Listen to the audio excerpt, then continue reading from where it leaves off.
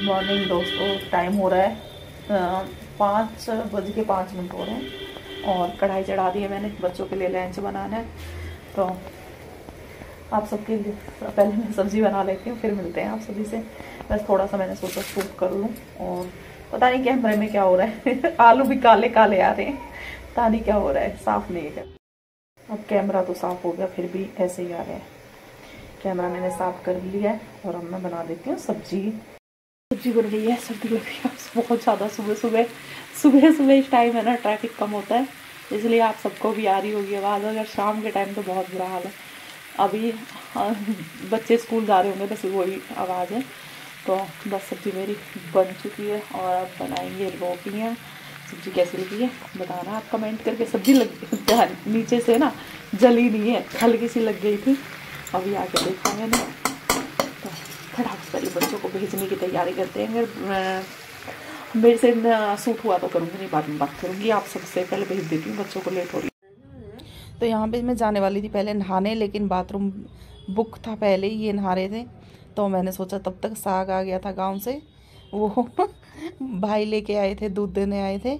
और साग कट करने के बाद मतलब नहा के आने के बाद फिर मैंने मिर्ची कट की थी मतलब मिक्सी में पीसी थी। यार हाथ से नहीं पीसा था। लहसुन भी और अदरक भी उसी के साथ तो उसके बाद में मुझे ऐसे मतलब पागलपंती का कुछ लगा कि मैं कुछ पागलपंती करूँ।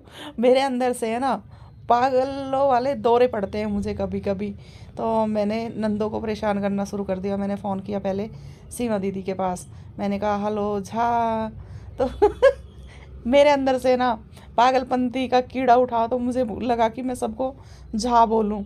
उसके बाद मैंने अनीता दीदी को मैंने झा बोला और बीच में फिर सीमा भी आ गई। सीमा मतलब देवरानी और बुआ जी भी आ गई। मतलब इसी पागलपंती के दौरे में मतलब दौरे के शिकार हुई हैं जो। फिर उसके बाद इतना ही बहुत है क्योंकि और तो सब ज़्यादा बिज़ी होती है। शायद फ़ोन ना उठाती मतलब जहाँ जहाँ मुझे लगा कि हाँ क्योंकि दीदी का तो ऑपरेशन हुआ है, दीदी तो उठा ही लेंगी। सीमा दीदी ने भी पहले काम कर रही होंगी, उन्होंने भी पहले नहीं उठाया, फिर उधर से किया। तो मैंने उनको झा बोलने के बाद मुझे बहुत अच्छा लगा और मेरा पागलपन का दौरा वहीं पे ही मतलब झा बोलने से ख़त्म हुआ और झा बोलने से ही शुरू हुआ। झा! तो दीदी ने कहा कि, सीमा दीदी ने कहा, झा कहाँ, आप मेरे पास थोड़ी ना हो, जो झा बोल रहे हो। तो मैंने कहा, अगर आपके पास होती तो मैं धप्पा नहीं मारती, झा थोड़ी ना बोलती। तो बस ऐसे पागल पड़ के, पन के मतलब पागलपन के, पागल पड़ के नहीं पागलपन के कीड़े मुझे दौरे पड़ते हैं कभी कभी तो वही आज पड़ा था और मैं चक्कू से ही कट करती हूँ। कल मैंने एक वीडियो देखी थी कि दरात से कट करना किस किस को आता है। अगर दरात होता तो दरात से भी मैं कट कर लेती। यहाँ मेरे पास पहले था, अब नहीं है तो मैं लेके भी नहीं आई, क्योंकि मैं चक्कू से भी जी साग भी मैंने धो लिया और नमक भी डाल दिया, इसमें बहुत सारा। और भगोना भी खाली कर लिया बर्तन भी साफ़ कर लिए हैं। भगोना में धोया था और सब्ज़ी मैंने कुछ रख दी है ये बची हुई है खाली कर दूँगी, इसके पापा के खाएँगे अभी खाना। और कढ़ाई भी धो देती हूँ। और जहाँ तक बनेगा, हम लोग बनाएँगे। आप सबके लिए मेरी कुछ तबीयत भी ठीक नहीं लग रही है, बिल्कुल भी। सर में बहुत ज़्यादा दर्द है। जहाँ तक भी ब्लॉग बनेगा और आज बनाएँगे हम बाजरे की रोटी, उपले नहीं है हमारे।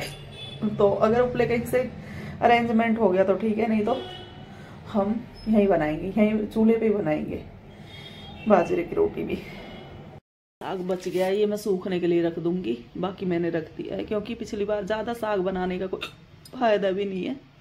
और अब ये फैला पड़ा है, ये समेट लेते हैं। फिर मिलते हैं, सफ़ाई का बस यहीं से रह रहा है। झाड़ू सुबह लग गई थी, लेकिन अब लगाते हैं झाड़ू और फिर पोछा। फिर मिलते हैं आप सभी से झाड़ू पोछा करने के बाद। तो लेके चल दिए हैं साग ऊपर। और ये देखो, ये धरी में अंगीठी अगर उपले आ जाते तो मैं ऊपर ही बनाती। उपलों की प्रॉब्लम है। तो टमाटर दिखाते हैं हम अपने। टमाटर ये तोड़ूँगी मैं सुबह। चार टमाटर हो रखे हैं, रेड। और